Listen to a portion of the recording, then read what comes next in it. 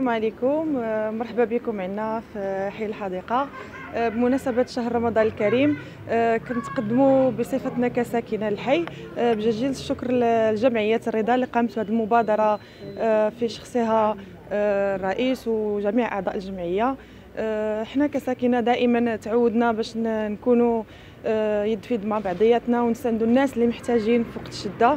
آه، كما كنعرفوا رمضان هو شهر التسامح وشهر الغفران وكذلك ما نساوش لأنه شهر الإنسانية.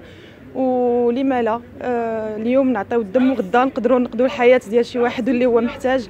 آه، كنشكروا المراسل ديال فاس نيوز اللي دائما في الخدمة ديال هذا المواكبة ديال هاد لي زيفينمون اللي بحال هكا. شكرا بزاف ورمضان مبارك سعيد. التضامن مع مرضانا شفاهم الله.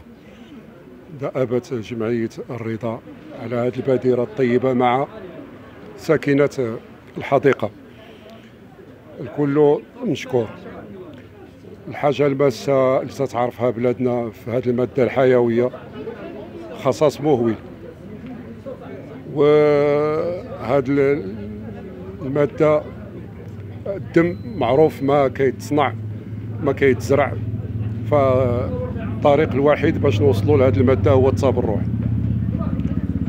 أه تيقولوا للمال زكاة وللعلم زكاة والصحة كذلك من من الفهم ديالي أنا لها زكاة وهو التبرع التبرع بالدم. أه الشكر موصول للسكينه أه السادة المسؤولين اللي يسروا لنا هذا هذه المهمة هذه وعلى رأسهم السي آه، خالد حجوبي والسي آه، آه، أسامة بوركيزة السيدة القايدة ورجال السلطة كاملين اللي يسروا لنا هذه المهمة هذه كذلك نذكر بواحد بواحد الحديث. أحب الناس إلى الله أنفعهم للناس.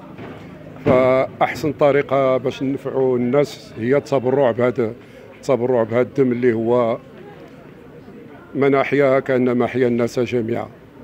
اللهم تعالى يشافي المرضى ديالنا واللهم تعالى يخلي لهم صحتهم.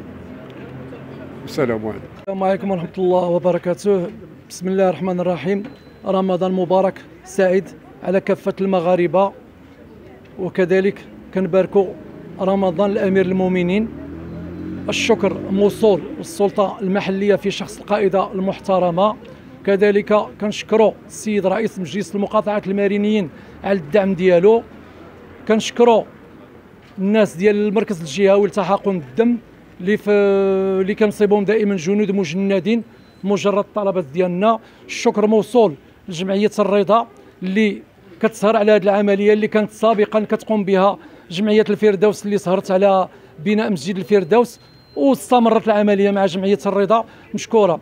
الشكر كذلك موصول للمراسل فاس نيوز ميديا اللي كذلك يكون متواجد معنا في هذه الحملات.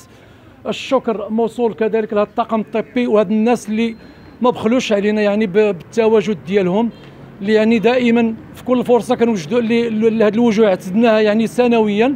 وكناشدوا وزارة الصحة أنها تكتف في عملية التواصل مع الساكنة وتقرب هذه العملية ديال التبرع. يعني تدير واحد الحافلات متنقلة ولا قوافل جد طبيه متنقلة باش تقوم بهذا التبرع لأن كتعرفوا الخصاص الكبير والمهول في هذه المادة اللي هي حيوية بخصوص العدد الكبير من المرضى والناس اللي في اللي في اللي في الحاجة. ونتمنى يعني العملية دازت في واحد الجو اللي هو منظم وأخوي. ونتمناو وكان واحد الإقبال اللي هو كبير. ونتمناو غدا إن شاء الله يكون كذلك إقبال. وإن الله لا يضيع أجر المحسنين. والسلام عليكم ورحمة الله وبركاته.